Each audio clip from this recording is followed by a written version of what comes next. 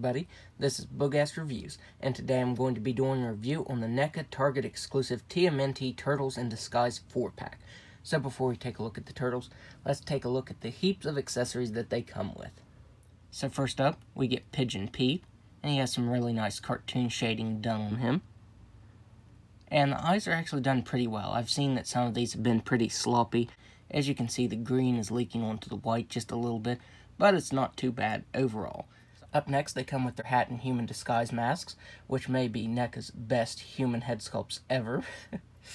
but uh, these do look really nice. They have the cartoon shading on them, and you can switch them around. That's the good thing about all most of the accessories in this set, not all. Um, most of the accessories in this set can be swapped to each figure, so you can give them different looks and different expressions, and I really like that. I think that's awesome. So yeah, you can swap the masks to any of the figures. Up next, all of them come with angry head sculpts. The cool things about this head sculpt is you can actually switch out the faces and create different expressions between all of the figures. So for example, here you can create a scared expression Michelangelo, and a confused looking Leonardo. That's the awesome thing about this set is you can swap the bandanas and the lower faces to create different expressions and I really like that because you can get a ton of different looks out of these. You can really show a range of emotions with this figures because of being able to swap these out. So that is so awesome. Up next they come with a slice of pizza, a single slice. It looks like uh, cheese, pepperoni, and olives. So you can give this to any of the turtles. Up next, all four turtles come with these relaxed hands. I also like to use these for pizza holding hands. Up next, they come with a normal pizza. It has the pan underneath it. This one looks like it might be cheese, pepperoni, peppers, and olives. Up next, you get my favorite pizza accessory, the ice cream and fish pizza. this is definitely my favorite pizza accessory from this set. You get two sets of thumbs up hands. Up next, you get a set of pointing fingers you get extra accessory holding hands for the figures. And these are the exact same as the uh, the ones I had on the figures at the start of the video. Um, so I'm not sure what these are for. These might be to hold the pizza, that way you don't stretch out the regular hands. But yeah, you do get an extra set of these. You get the Hare and the Tortoise book, and again, you can give this to any of the figures. Up next, they come with a boombox, and you can give this to any figure.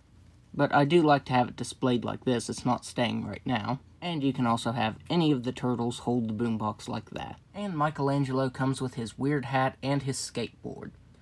And uh, one thing I wanted to say is the skateboard is really cool. The wheels actually work on it, but there's no pegs or anything to peg the feet into.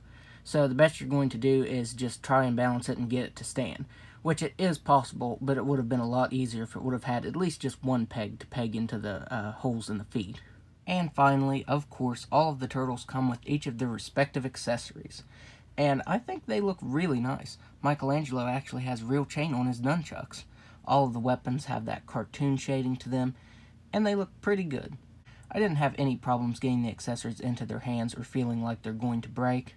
So the tailored outfits look really, really nice. You get the pants and the trench coats, but my main complaint with this set is the trench coats won't stay closed um, because of the shells, uh, they just want to open up. They don't want to stay for anything, which is weird because the uh, the movie Raphael in Disguise, um, he comes with a different trench coat, but I've never once had an issue with uh, the trench coat doing this. So yeah, that's my big complaint with this set is that uh, the trench coats do not want to stay closed. And the cloth goods are removable, so you can get plain turtles as well. And they also have storage for all of their weapons and Donatello, his bow staff goes in the uh, the holder just fine. Um, as you can see, Leonardo's swords do not go in the sheaths at all. Um, it feels like it's going to break the swords. And on the left side, I couldn't even get the sword in as far as the uh, one on the right. And it uh, it feels really difficult getting that right one out. So yeah, um, that's another complaint I have, is that uh, Leo's swords will not go in the sheaths properly. As you can see, Raphael's sais fit nicely under the belt, but uh, Michelangelo's nunchucks do not. As you can see, uh, the one that I have in there is barely in there, and uh, the one nunchuck actually came out. So yeah, Michelangelo and Leonardo's weapons uh, don't fit in the intended places properly. So there all of the turtles are out of their disguises and holding their weapons, and they look really, really nice. Um, I'm not really sure what the big difference between this set and the previous releases are. I don't have them, so I'm not totally sure. It might be the color. I want to say that these are darker in color. Um, but they look really nice. All of that cartoon shading in the muscles, the black lines look really good. There's not a whole lot of sculpt detail, but you really don't need it because the designs from the cartoon were pretty simple. So I'm really happy with the way they look. And like I said, with all of those head sculpts, you can switch them and get a range of different looks out of them. And I really like that. So now let's go ahead and go over the articulation. Um, Raphael seems to have the best articulation because I boiled all of the turtles. And Michelangelo, Leonardo, and Donatello have really stiff shoulders.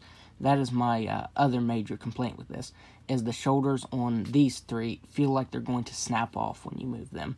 But uh, Raphael doesn't. I'm not sure why he had the best joints. Like I said, when I boiled him, his arms feel normal. They, they feel fine. So, first of all, the bandana actually has some articulation. You can move it up and down, spin it all the way around, and get it moving side to side. They have a ball-jointed head and neck that can look all the way up, and you can get them looking all the way down and you can move their heads side to side. Have ball jointed shoulders that should be able to move out all the way. Like I said, the rest of the figures don't want to do that. They have swivel at the bicep, single jointed elbows that can bend in just about all the way. It can also move side to side.